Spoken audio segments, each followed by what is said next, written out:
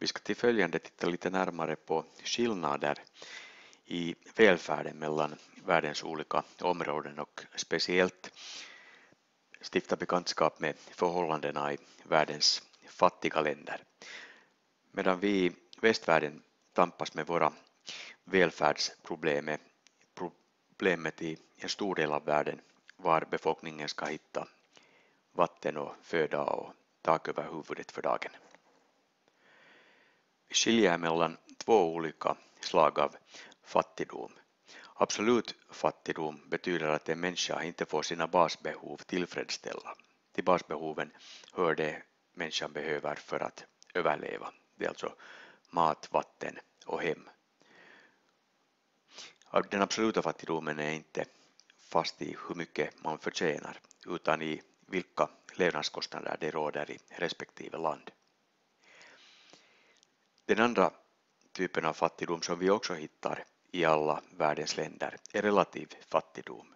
Det handlar om att en människa är fattig i förhållande till medelinkomstnivån i landet. Världsbanken eller IMF, International Monetary Fund som lyder under FN, skiljer på två slag av fattiga. Först de som lever på mindre än 2 dollar per dag och sedan de extremt fattiga, de som lever på mindre än 1 dollar och 25 cent per dag. Man beräknar att 60 procent av världens befolkning är fattiga enligt IMFs definition och lever alltså på mindre än 2 dollar per dag. Det var vanligt att man tidigare delade in världen i endast i-länder och u-länder, men vi kan säga att den indelningen idag är förlegad och har gått till historien.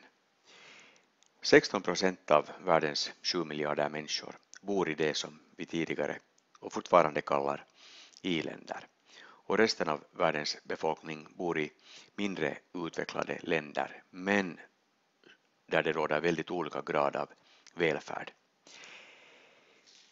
Mellan i- och u-länder som tidigare kallades tredje världen hittar vi idag bland annat NIC-länderna. NIC står för Newly Industrialized Countries och är alltså länder som rätt nyligen blivit industrialiserade. Hit hör till exempel Mexiko. Och Asiens tigrar. Det är fyra länder, Taiwan, Sydkorea, Singapore, Hongkong och det som kallas småtigrarna. Eller Thailand, Malesien, Filippinerna och Indonesien. Med begreppet Kina-syndromet förstår vi att i-länderna flyttar ut sin industri till Kina, Indien, Bangladesh och allt mera till Afrika, där arbetskraften är billigare än i Europa och den nordamerikanska kontinenten. Ehm, det har lett till att välfärden har vuxit i en allt större del av det som tidigare var världens fattiga områden och bidragit till att skillnaden mellan i- och u-länder idag inte längre överallt är lika stor. För att mäta välfärden i olika delar av världen används olika levnadsindex. Det vanligaste är BNP som står för bruttonationalprodukten. Det är det sammanlagda värdet av all produktion av varor och tjänster i ett land under ett år. Det är i sig en ganska dålig mätare på levnadsstandarden i ett land för det säger ingenting om fördelningen av välfärden i landet, hur jämnt fördelad den är. Inte heller syns självhushållning eller den gråa ekonomin i BNP. BNP anges oftast i BNP per capita, alltså bruttonationalprodukt per person.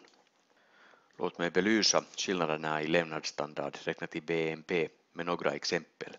År 2011 var BNP per person i Qatar 102 950 USD, i Schweiz 43 000 USD och i Finland 36 200 USD.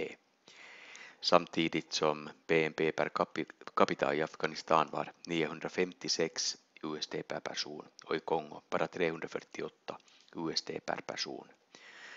Det här betyder, om man jämför Kongo och Finland med varandra, att BNP per person i Finland var ungefär 100 gånger så stor som BNP i Kongo. Qatar hade i förhållande till Kongo en BNP per person som var ungefär 300 gånger större. Den här kartan visar en indelning av världens länder i rika och fattiga länder räknat i BNP. De mörkblå områdena är världens rikaste länder med en BNP på mer än 30 000 USD per person, medan de mörkröda områdena är världens fattigaste områden där BNP ligger på under 1000 USD per person. Det finns många andra sätt att leva, mäta levnadsstandarden i ett ett i sig bättre sätt att leva, mäta levnadsstandarden i ett land är det så kallade HDI eller Human Development Index. I det räknar man också med BNP per capita men tittar dessutom på köpkraften som ju är beroende av prisnivån i landet, medellivslängden bland män och kvinnor, läskunnigheten och andra sociala faktorer. Ett index som uppvisar ungefär motsatsen är HPI eller Human Poverty Index som i sin tur anger hur stor del av befolkningen som inte uppnår en viss levnadsstandard. Indikatorerna är ungefär detsamma som ovan. Man mäter analfabetism, sannolikheten att dö som ung och brist på mat och brist på rent vatten. Den övre kartan visar en indelning av världens länder i utvecklade och mindre utvecklade områden mätt enligt Human Development Index medan den nedre kartan visar samma sak mätt i bruttonationalprodukt per person. En jämförelse visar att man kommer till olika resultat. Välfärden är inte enbart fast i hur mycket varor och tjänster ett land producerar utan också fast i prisnivån i landet och sociala faktorer. Det finns en rad problem som är utmärkande för världens mindre utvecklade länder. Till dem hör ett lågt BNP som kommer från att länderna många gånger lever enbart på primärproduktion och oftast det för i-ländernas del, det vill säga odling av marknadsgrödor, gruvdrift och produktion av råolja. I dessa länder sker sällan en större förädling som i sin tur skulle inbringa landet inkomster. Gemensamt för de här länderna är också att det finns ett stort antal undernärda, att det råder hög nativitet och hög mortalitet och hög barndödlighet. Dessa länder är inne i den demografiska transitionens andra eller högst tredje fas. Det råder dåliga hälsoförhållanden och dåliga sociala förhållanden. Utbildningsnivån är låg. Det råder samhällelig ojämlikhet mellan olika samhällsklasser och mellan man och kvinna. Exporten är ensidig. Ofta är länderna beroende av export av endast en eller ett, några få produkter. Länderna är ofta skuldsatta, det råder brist på kapital och det råder politiska oroligheter i många av dem. Barnarbete är typiskt för de fattigaste länderna i världen. Hur kan vi då få bukt med fattigdomen?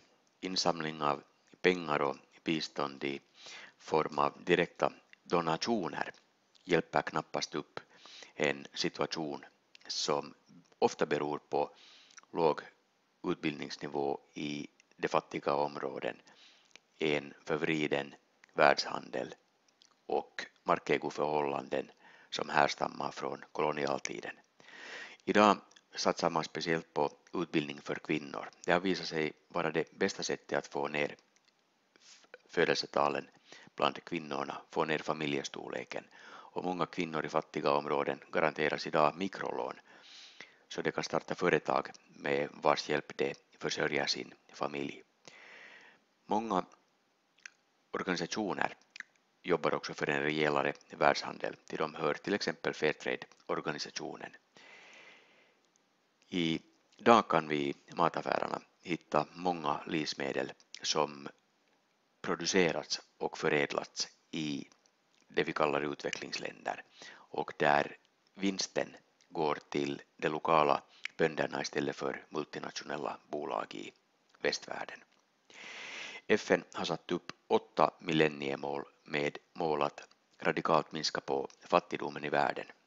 Du kan bekanta dig med de millenniemålen på FNs egen hemsida. FNs organisationer jobbar för en mera rättvis och jämnare fördelning av världens välfärd. UNDP, United Nations Development Program, jobbar på allmän och bred front för utvecklingsarbete i de fattiga områden. Unicef har koncentrerat sig på barnens frågor, barnens rättigheter och jobbar mot skäliga förhållanden när vi pratar om barnarbete. WHO eller Världshälsoorganisationen fäster uppmärksamhet vid hälsofrågor i de fattiga områden och stöder med medicinsk hjälp i form av både medicin men också expertis. UNHCR är flyktings, FNs flyktingorgan som jobbar med flyktingfrågor i världen i, i världens krisområden. Och FAO är FNs livsmedelsorganisation som stöder en hållbar livsmedelsproduktion i de fattiga länderna. Världens rika områden hjälper i varierande grad de fattiga länderna i världen. Biståndet kan ha många olika former. Det kan vara bilateralt eller ett stöd som betalas ut från givarlandet direkt till mottagarlandet. Det ligger oftast politiska eller ekonomiska intressen i detta slag av bistånd och det kritiseras rätt hårt bland de som engagerar sig i frågan. Det multilaterala biståndet anses vara mera neutralt. Det betyder att ett land betalar en viss del av sin bruttonationalprodukt till Världsbanken som i sin tur fördelar biståndet till de fattiga länderna, ibland som ett direkt bistånd, ibland i form av lån till landet. FNs medlems, rika medlemsländer har som mål att betala 0,7 procent av sin bruttonationalprodukt som bistånd. Av de nordiska länderna är det endast Norge idag som betalar mer än 0,7 procent. Danmark och Sverige ligger ungefär vid den rekommenderade gränsen medan Finland ligger en bra bit under. En sak som diskuteras mycket i Finland och väckt mycket kritik. I krissituationer som framkallats till exempel av naturkatastrofer, långvarig torka eller politiska oroligheter som lett till, lett till flyktingströmmar sänder de rika länderna humanitär hjälp, ibland i form av direkt hjälp, ibland är den indirekt via organisationer som till exempel Röda Korset. Ett rätt hållbart sätt att hjälpa de fattiga länderna i världen är att ingå handelsavtal med dem som gynnar det fattiga landets industri, speciellt sekundärproduktion. Rika länder skickar också bistånd i form av know-how eller kunskap i form av experter inom jordbruk, inom industri och inom medicin till länder som behöver det. Biståndet ges idag alltmera sällan i form av kapital eller direkta penningdonationer. Också i mottagarlandet har man kunnat konstatera att dessa allmosor inte stöder en ekonomisk utveckling som på lång sikt skulle hjälpa landet på fötter. På kartan till höger kan vi se att Afrika mottar ungefär hälften av det bistånd som betalas ut i världen. I staplarna till vänster ser vi att Förenta staterna är världens största bidragsgivare. Den största mottagaren av amerikanskt bistånd är faktiskt Israel som väldigt sällan brukar definieras som ett underutvecklat land. Det är just ett exempel på hur bistånd och politik många gånger hänger ihop med varandra.